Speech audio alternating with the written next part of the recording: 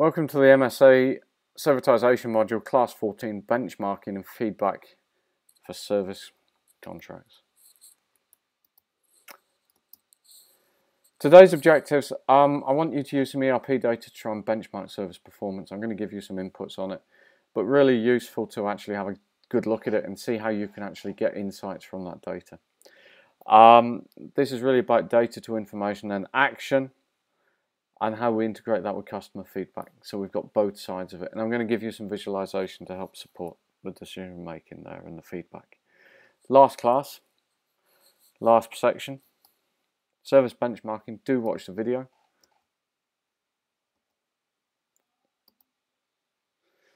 ERP data. Um, finance collects a lot of data and there's actually a lot of stuff in there that we can actually see so we understand what's going on.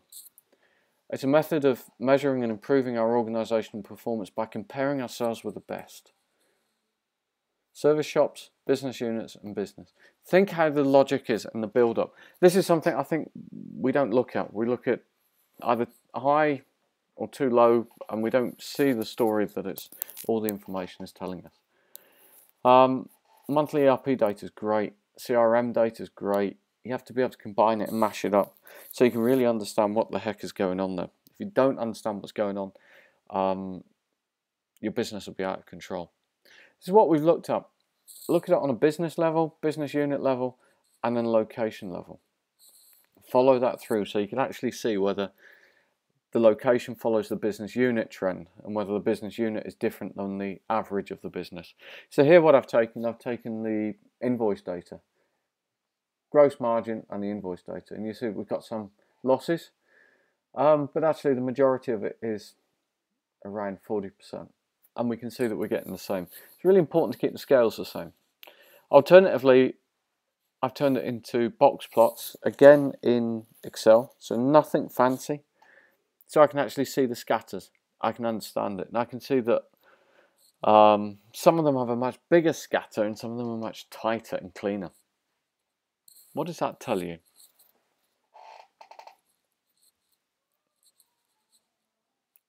Do I over rely on one customer? Overall, in terms of the business, I may not. In terms of a particular location, I may have a bad breakdown in terms of customers.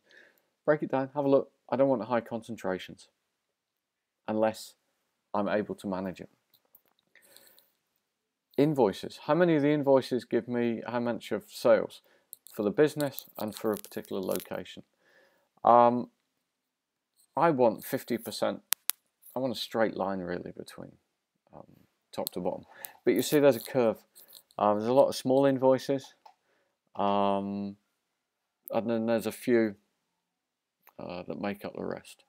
Think about how you want to see that and try and understand what the shape of that curve is for your business and try and improve the shape of the curve to make it more robust. With Excel, you can do overlay so you can actually see where the locations come from. Uh, location 1 has good sales, but it's also got a lot of sales in um, other regions. Why? So you need to go down to regional basis. That's where postcodes are very helpful. Control plots. Are we going and increasing following the line that we expected. Um, accountants hate it because every month's different. Well, that's life. Now, what I'm looking for here is some sort of consistency in the business. I also would like sales to remain within the control lines. Whether they're flat or whether they're going up every month, I think is, is something that we can discuss later. But really, I want to have a very slow, boring uh, corridor that we're following. Other data to look at, the return on sales here, jobs sold, how big were the jobs? Um, jobs in hours to see whether we're changing our business, total sales. Um, how's productivity changing? Is it changing? Here we're looking at um, hours sold, return on sales to see whether there's a relationship between the two of them. Um, sometimes there is, sometimes there's not. Sometimes if we get too many hours sold, we find out that the margin actually decreases. Because what we're doing is we're using overtime and that's more expensive. So here, what are we looking at? We're looking at total sales, or gross profit against under over absorption as a percentage of sales. I'm trying to see how the business is working. It is possible to get under and over absorption at the same period. We want to manage that out so it doesn't happen. Again, monthly consistency. Total sales versus materials costs as a percentage of sales. We're trying to find out whether there's been any major increase whether we've got larger pass through in terms of materials or whether we're, our, our, our labour is about right. So on top of that, I recommend that you have some core KPIs and some secondary um, key result indicators. Um, pretty obvious what some of them are. Less obvious with some of the others. Why per full-time employee? Why per square meter. I'm trying to find out how the business looks to see whether there's a business model changed. Is the business consistent? Benchmarking from billing data, consistency of the business, reliance on key customers, reliance on large orders, monthly ERP data, business sustainability, trends, forecast, dependency of key values. Using alternate metrics, more can be learned, consistency of the business, deviations, effective full-time employees, and uh, number of square meters you have. Extensions to measure effectiveness and efficiency of the business. Cost, ROS. Um, so using that ERP data, I think what we're really able to do is understand how the business is changing. It requires a different hat on from the finance guy who's looking at it in a particular financial way to do the financial reporting.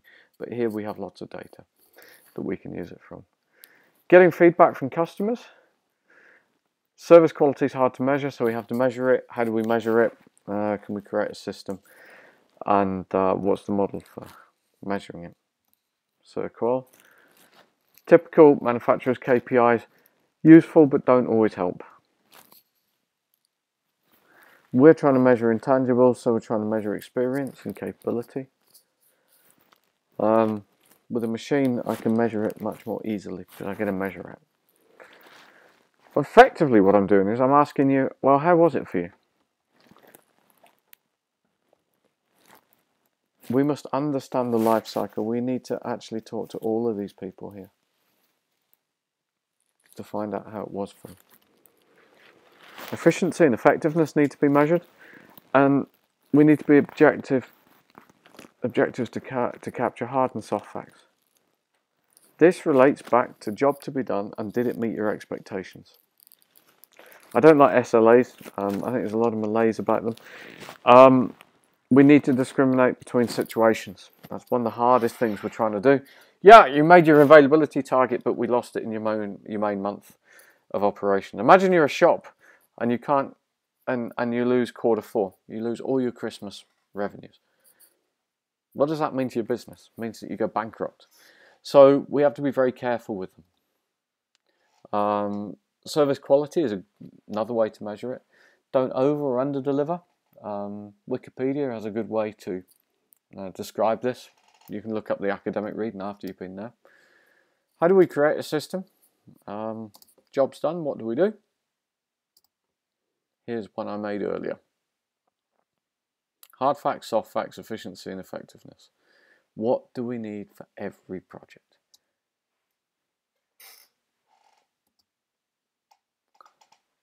we should ask all the stakeholders, internal and external. Customer journey mapping really helps us with this. Any bad feedback we have here, treat as an NCR, then we can learn. What are the hard, hard facts about quality?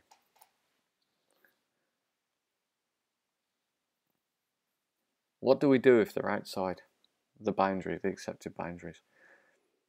This confirms if we're meeting internal and external expectations.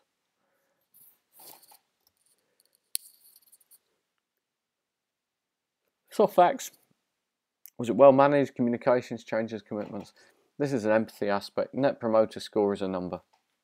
Um, there we go. Callahall's there. What happened? He didn't like what we did. So then what do we do? We go and find out. We treat it as a non-compliance. So Services are hard to measure because there's no service quality measuring stick. Um, you can't see how fast it was really or effective. Um, so we have to find better ways to do it. Um, it needs to track the tangible and intangible inputs, which is, makes it harder. I hope you have designed a system to be able to measure quality because that to me is important. And you've seen my system for measuring service quality. Now go and build your own in your own firms. Data to information. The final section here, we need to be able to convert that data that we had. And this is really what we had done earlier in the class. What's the indications? What does the metric tell us? And what's the lever underneath it that tells us? Box plots are great. You've seen them. Understand how to use them. Uh, control charts are also excellent. Understand how to put them together. These visualization tools help us support decision making. There is honestly, it does say the wood in there visualization of this, not just the numbers. So you'll see that my graphics there were quite visual in terms of dashboards and displays. It takes time to get it right and it's it's a, both an art and a science and you'll need to iterate to find out what helps you make the right decisions. Thanks. We've used ERP data to get service benchmarking. Try it again, try it again. Play with the numbers in Excel. We've seen how to collect direct customer feedback. We've converted data to information and then onto action, and we've shown that visualization helps. We can now look at benchmarking service performance and feedback in a service friendly way. Thanks very much. That ends the uh, servitization module.